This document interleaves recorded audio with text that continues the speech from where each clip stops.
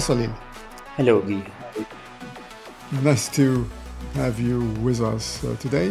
Let me introduce uh, to you uh, Salil Aroskar. He's the uh, lead of the cyber risk management at uh, athenahealth Company, which is a healthcare IT company. And uh, we have in previous videos uh, introduced uh, Salil, and have, he has shared with us his his uh, career. Salil is based in Bangalore, India, so uh, also interesting from uh, that angle. And we're concentrating ourselves on third party risk management, and we have done a part one where we look at uh, incidents related to third parties and uh, we try to understand uh, the risks which are typically associated with a third party.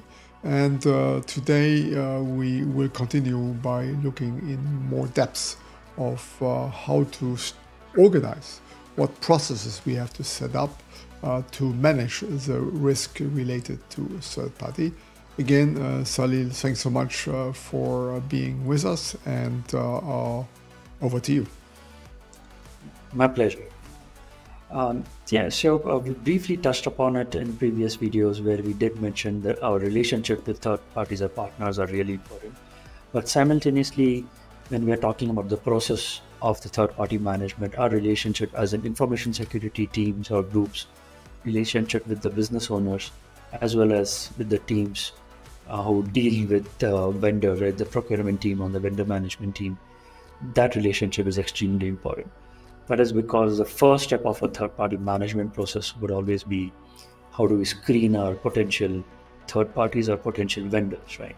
We need to understand the business objective what are we sharing with the vendor what is the vendor uh, being bought in for and understand what can be the potential risk um, if we bring in such vendor. And that's where we try to at the screening stage itself we try to classify the vendors in terms of critical risk high risk medium risk right? And some guideline uh, would always be there in terms of if we are sharing sensitive information to our vendors it will definitely be either critical or high right? And then the next step would be in terms of uh, if we have our legal uh, partners or if we have uh, marketing partners, right? They would slightly come down in the next year risk, whereas the last year would be the um, less risk where we are talking about landscaping vendors who will really help uh, in maintaining your office or physical security vendors who may have physical access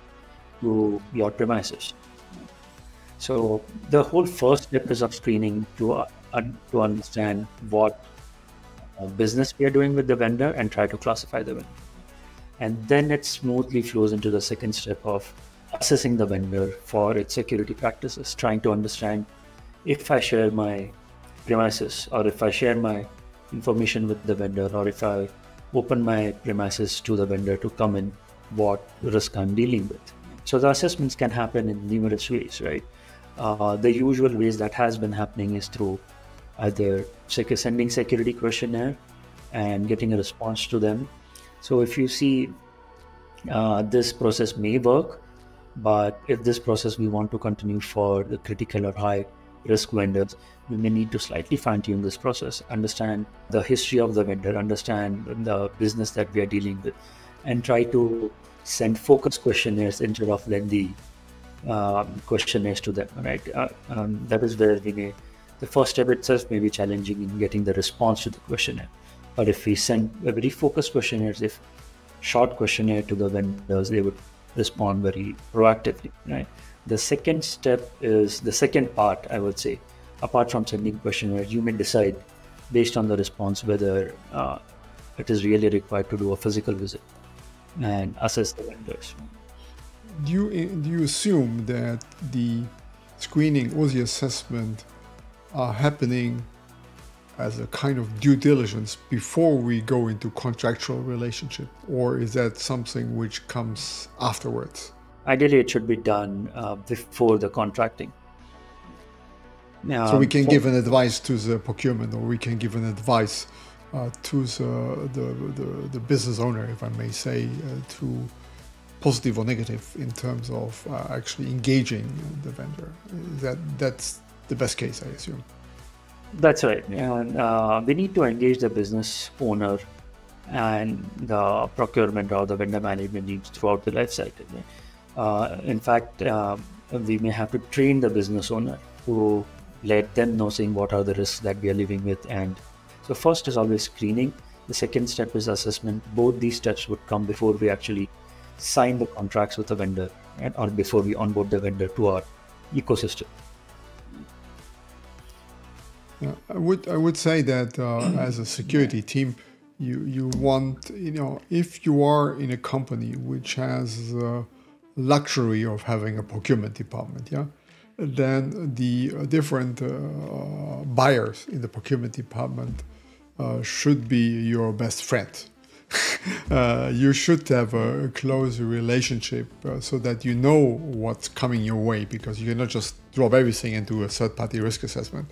You need to know what's coming and so you allocate resources and time uh, to do it. And obviously, uh, uh, you have to have, a, a, I would think, a trust relationship with those people. The way if you give an opinion, uh, they will take it to, into account. And if they are generally very professional, they they, I'm sure they, they could relate easily uh, to that. But some companies do not have procurement departments. Uh, so uh, I guess, uh, and I would like to have your opinion, then as a, security team, we have to work with, I guess, line management at large. Uh, uh, is that uh, you know that is a little bit harder. Procurement is a finite number of professional people.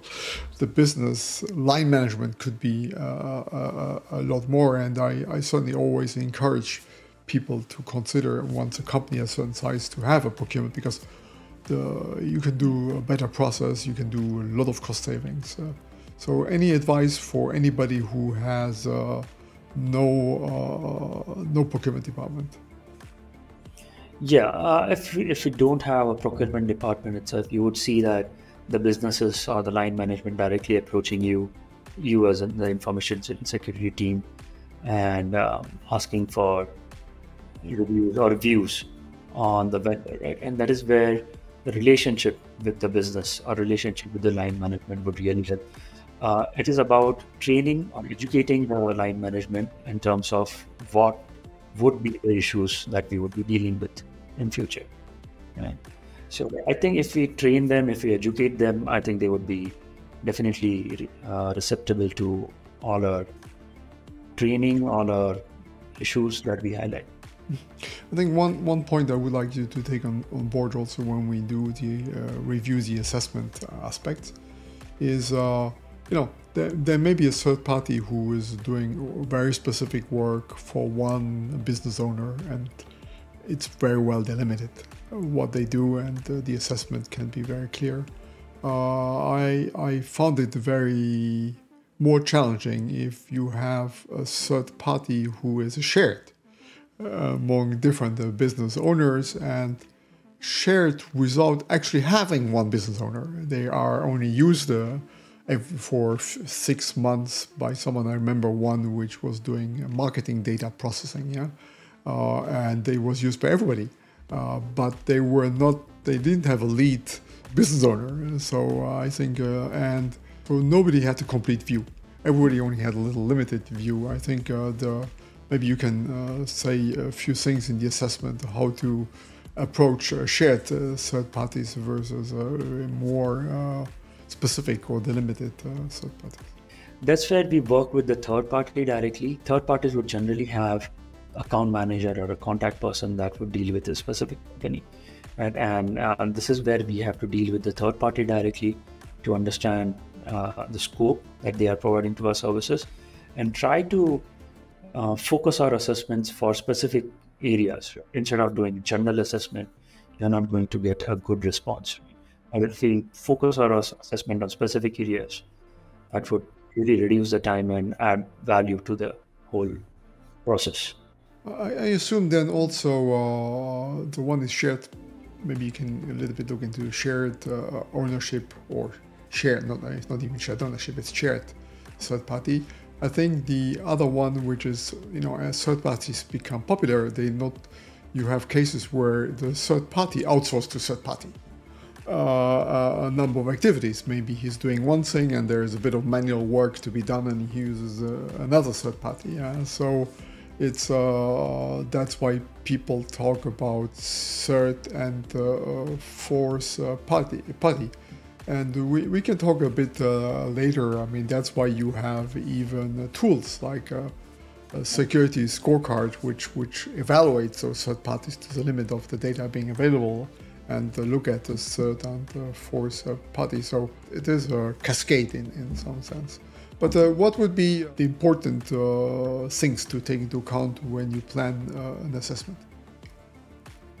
Um, so when we plan an assessment, we definitely need to know what is the scope that the customer is delivering and the vendor is delivering for that matter, and what the scope has been subcontracted uh, to fourth parties or nth parties that you talk about, right?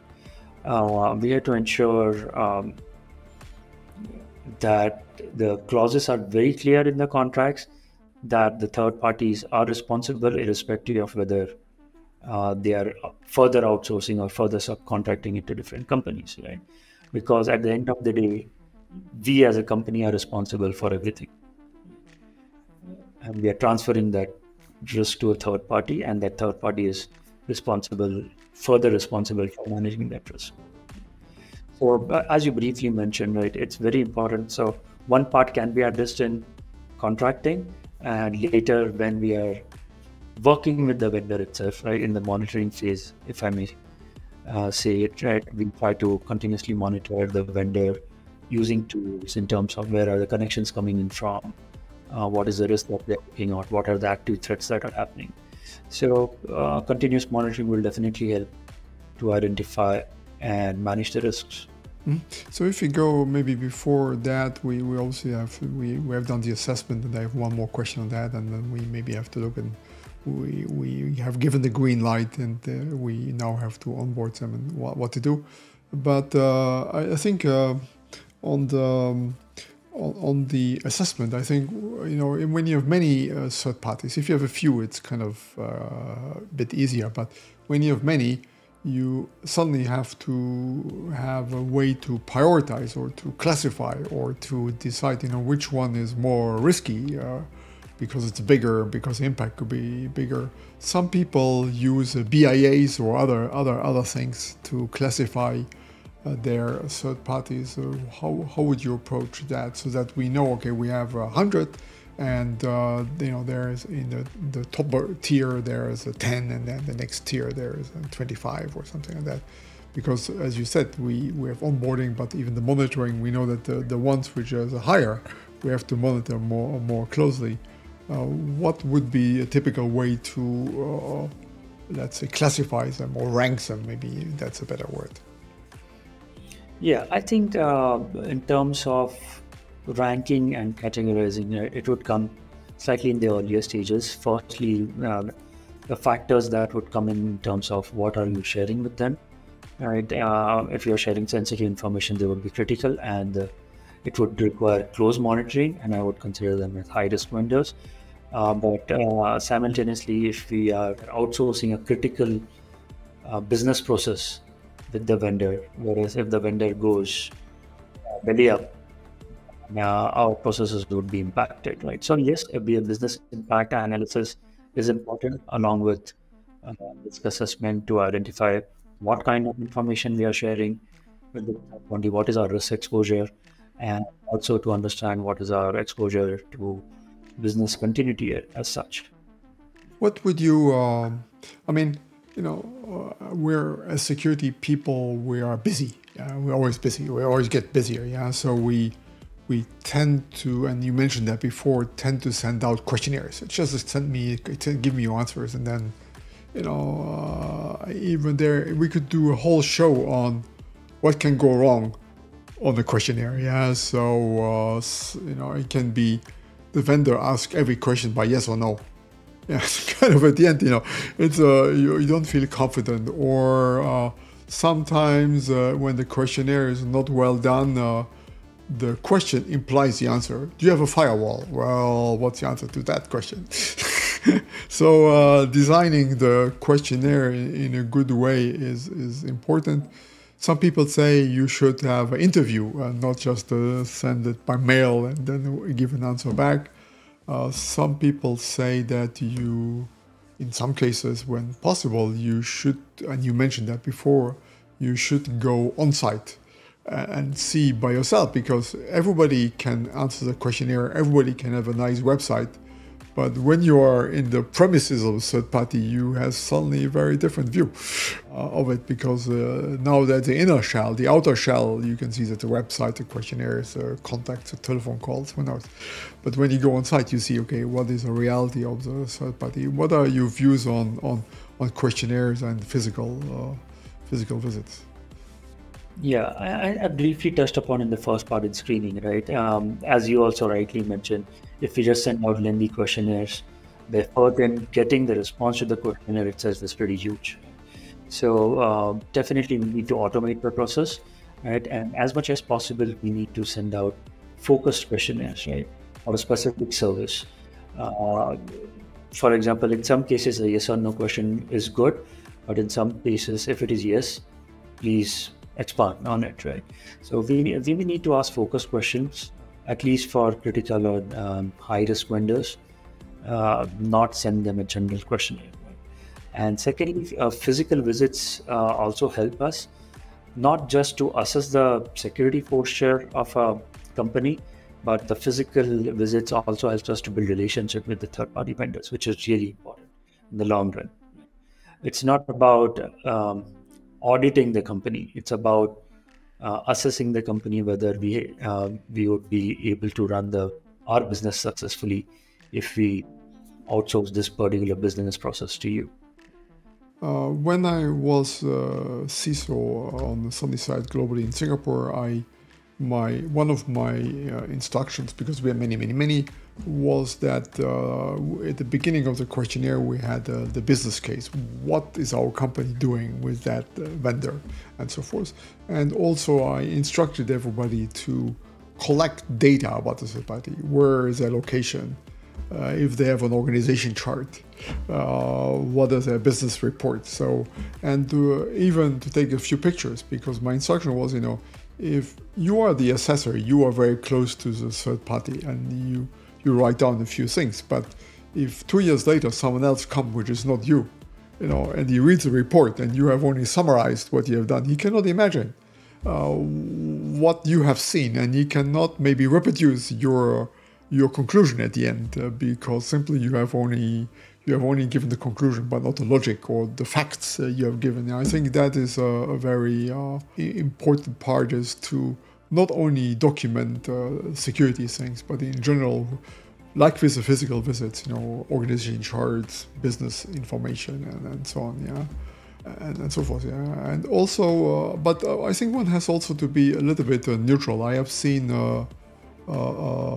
third parties where you know, which which are staying in very strange buildings, but are excellent companies. Yeah, so sometimes we have to we're a little bit biased. Yeah, we say, oh, what's going on here, and so forth. Yeah, but uh, let's assume we we give the green light. So uh, the next step is the onboarding. What what what is important uh, when uh, when we do that? I think in terms of onboarding, I think uh, this is where all the contracting and SLAs are defined and signed. So all the contracts and SLAs should be very clear in terms of what are the responsibilities of the third party, what are the responsibilities of the organization. Right? Uh, everything should be defined, not just from a risk perspective, also from laws and regulation perspective. We still have to work within the laws and regulations that uh, we have to, and we have to ensure that uh, the contracts also uh, talk in the same language right and this is where the onboarding would come into picture I, I, briefly mentioned we have to definitely train the vendors about the specific uh, train the business owner rather about the specific vendor uh, we definitely need to uh, have agreement or the contract in terms of sharing data uh, whenever an incident happens. So, uh, incident response is a very critical thing that we may need to add in a contract where, where if, if and when things happens, uh, we should be able to share data seamlessly within the two organizations. And third is definitely uh, we need to ensure the service delivery in terms of what is the resiliency of the company, whether they would, what is the uptime they would provide, and what are the measures that uh, they would have in place to protect our information. So all these stuff should go in the contract, right? And simultaneously, when we do a risk assessment uh, before the stage, and if we identify that in a lot of cases we, we identified that this vendor is a very niche vendor and there is no other competitor which will provide this service. So we may not have an option but to go with the vendor. But in this case, if we have identified some issues during our risk assessment, it is worth adding these risks in the contract addendum, saying that these are the risks we identified and we the vendor should be responsible for fixing these risks. Right? So there should be a two-way talk between the assessment and the onboarding phase as well, where we sign the contracts and SLAs. Yeah. I think it's a good point. Uh, so uh, basically, preventive measures take into account then uh, incident response uh, being uh, clearly defined because we cannot avoid everything. And if we're hit in some ways, uh, put in the resilience, how do we get, get uh, back on our feet? I would add, and, and putting those in the contract, I, I, would say, you know, I sometimes have been worried about some vendors want our business and they're willing to sign everything. So we have to be a little bit careful. Uh, someone says, uh, are, you, are you okay with this? Uh, yes, yes, yes, yes. Because all they're thinking about the money they're going to make at the end. Uh, so we have to be uh, always uh, sure that they are serious about the contract, I think, or they're going to be executing in this in a good way what we put there. So yeah, okay. So now we we did the assessment. We have the onboarding. Are there are there you know there, there may be still a, a few risks which we accepted somewhere uh, because not everything is beautiful and you know when, when they're finding the very perfect third party may not be possible. Uh, so we we we accept a certain risk i guess. So how how how do how do you what do you recommend on on, on managing that remaining risk or residual risk yeah i think uh, we made a good point right? Um, as i briefly mentioned earlier we may not have an option but to go with a vendor and in some cases uh, because of these reasons we may have to accept a risk. But while accepting a risk uh, we need to understand what are security controls around it how we are trying to minimize our exposure in various scenarios. I can also uh, try to communicate the risk to the business owner uh, and explain him or her what the risk we are living with and uh, also ensure that this risk is uh, again uh, documented somewhere, create a risk database. Um, we, as you briefly mentioned, create a risk database, uh, record the risk, and then uh, keep a track of all these risks uh, and how they are mitigating this risk or how they are controlling this risk by doing regular reviews with the vendor when they are after the contract is signed rather.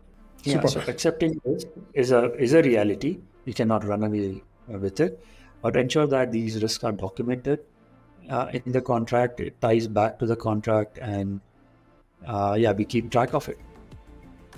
I think uh, also, uh, at least, and I would like your opinion that.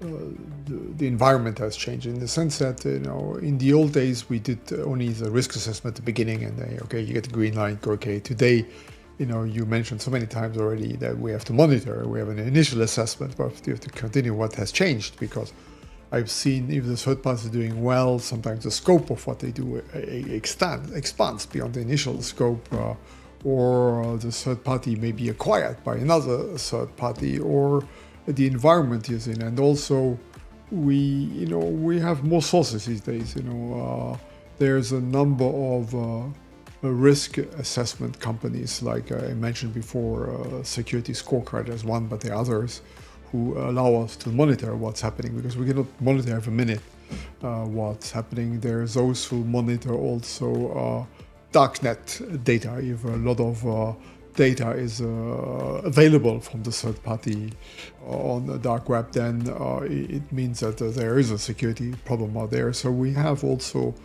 more sources. But if we ingest those sources, I think then we come to uh, what you mentioned before uh, in in terms of uh, monitoring. Yeah, I think uh, can can you can you maybe expand a bit on on the on the monitoring? Yeah. Is that is that Yeah. I mean, is that continuous monitoring or is that like every six months or yearly or how or depend on the third party? How, how what what's the approach there? apart from continuous monitoring, we also need to tie in our threat intel um, to help focus our um, energies into the top 10 risks, right? Or top 10 threats that can actually happen, or top 10 exploits that are really happening in the wild, right? Um, so tie in threat intel, tie in uh, continuous monitoring, and tie in continuous monitoring through tools. And also, um, in some cases, you mentioned we may expand the scope of a third party, right, um, in between. So it may make sense if there is an incident out there in the wild, like, for example, uh, take a target incident. If there was a target incident, I would expect uh, a vendor, a similar vendor, um, like Walmart or anybody, to do a assessment through vendors to check whether our vendors are impacted by a similar kind of attack or similar kind of threat. So uh, maybe a focused risk assessment based on whatever is happening in uh, our threat landscape will also help. Apart from regular reviews, I think uh, for regular reviews are also definitely helpful, but that can be done for a lower risk vendor. But for high risk vendor, we definitely do need to do continuous monitoring. In, uh, before we go to, I mean, this is uh, onboarding, running, and uh, you know, continuously monitoring. Uh, and also, we, we have to talk a bit about the offboarding in a minute. But uh, any any guess if I have a, if I'm the CISO, and this is part of my risk management team, and the risk management may have to deal with third parties, uh, projects, other things. Yeah it seems to me that the risk management function these days may be between I would say 10 to 20 percent of the whole uh, security budget in, in, as a total. Yeah, of course you have uh, infrastructure security, cloud security, uh, SOC, and so there are many others, but it's not five percent. Uh, it is uh, and, and, growing a bit. Yeah, because uh, I think the risk which moves to third party, and I would even more generalize the risk who move to the business, and not just IT, is increasing. And uh, uh, the the ones who are really dealing with that risk is the risk management team. So I I, I, I, I would give a number or a range between 10 and 20 percent of the whole budget uh, might be uh, related to risk management large and from that a substantial part to uh, third parties. Is that a number which uh, you can relate to or makes sense to you? Yeah, we can definitely relate to it. Um, as we talk about uh, all the risks or threats or all the laws and regulations that are coming up, definitely the investment in risk management, pure risk management, is in, in, increasing a lot. Right. As we talk to the business, they also realize the third-party risk that is coming up, and that's why we do get uh, a lot of support for managing the third-party risk as well. So yeah, it is around 10 to 20 percent depending on how big a company you are. Right, but um, yeah, I think uh, along with people, we definitely need um, some kind of tools and automation to manage all the risks in the organization. I think these uh, come back to our discussion before how how to on the we have two dimensions. On the one side, you want on-site good questionnaire, focus questionnaire, so you focus on quality. Uh, on the other hand, you know uh, you have so many. Uh, you have to have a, a productivity concept almost to actually how many can you process. Otherwise, uh, you are always uh, behind. And uh, I think uh, also uh, not only do you have to do the assessment, but you have to follow up the open items and, and so forth. So uh, I think having automation, having a good tool is important. And maybe in, in a future video, we can talk about the tooling, uh, which is necessary to achieve both the quality and, and also the productivity or the performance part of it. But maybe to finish the process part, any could you share a few uh, important things about the offboarding? So let's assume that our, our relationship is uh, coming to an end. Now uh, we we have shared so much information on both sides. how does offboarding go? Let me add one, one point before you go in details. You know, there is a, a variation. Yeah, if I sell a part of my company it was part of me or my company before, and when we sell it, it becomes a third party. then the offboarding is a is a huge thing. Uh, I have been involved in a few uh, uh, sales of factories. It's like you cut off your arm, and then you see there is so many blood vessels and nerves and everything going. So I think maybe you can also talk in generally about the third party. Then maybe a few words on on uh, actually uh, offboarding uh, part of the business, not just a third party, which has been a bit separate from the beginning. Yeah, I think uh, offboarding is very critical, but often ignored in the whole uh, information security cycle or the whole vendor management cycle. I would say, right? Uh, offboarding has to be tied back to the first, third stage of contracting. We need to be very clear in terms of what are, what would be the offboarding terms like data erasure, uh, removing the access, uh, ensuring sharing the evidences of data erasure, or for that matter, uh, destroying the hard disks. And these evidence should be stored for all the future purposes. So all these uh, things, the offboarding process itself should be documented in the contract uh, earlier itself, right? And we ensure that we stick to the steps mentioned in the contract, and we capture the evidences and store it. Uh, secondly, there are certain risks that we are talking about, saying that maybe only one business uh, is offboarding from the vendor, whereas other businesses also, um, uh, other businesses still using it, right? So we need to be careful. What does offboarding mean? Offboarding may mean not just from one business, but it's completely off from the organization and that's where access removing the access becomes very critical and that's where i want to take up your point in terms of if we are having off a certain part of uh, my organization and that hyped off uh, organization becomes a third party to us we have to be very careful in removing the access that the uh, employees erstwhile employees had and then onboarding the access as part of third parties i think we need to be very clear on that right?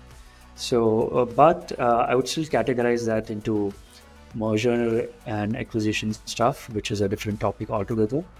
Right? Uh, this discussion we can focus on just offboarding of third or offboarding vendors, right? As I mentioned, um, sticking to the contracts that we have and ensuring we collect the evidences, ensuring we uh, have um, all the evidences stored, and as much as possible, um, we end up on a good relationship because we, never know we may start using that vendor in future as well. Super. Well i think uh, uh, that uh, covers a bit our the, our overview of uh, let's say the more the, the key stages or process part. Clearly uh, that should give everybody a sense of the amount of work which is involved and uh, also the sometimes the prioritization or smart trade-offs we have to do to to get our, our, our job done. And uh, yes, uh, we'll, we'll have uh, still a part to cover in terms of other aspects like the special cases of merger and acquisition in a moment. But so please stay tuned also to that part. Yep. Um, yeah. Third party is a third party risk management is a huge thing, and yeah, we can discuss in future in terms of merger and acquisition itself is a different ballgame altogether managing contract staffs is again a different ballgame altogether related to whole third party risk. So, in the meantime, uh, thanks uh, uh, Salil for having given us this very detailed insight and also this uh, recommendations. I think obviously every every company, every case, every degree of maturity, every scale is different, but I think we try to cover at least the best practices in terms of uh, general approach uh, to this, and obviously uh, more than happy if uh, anybody would like to leave some comments in the comment section about uh, other aspects of it which are important to your business or which are resulting uh, from your experience. So uh, thanks for that also. And again, thanks Salil for, for sharing your insight. Thank you so much. Thank you. My pleasure.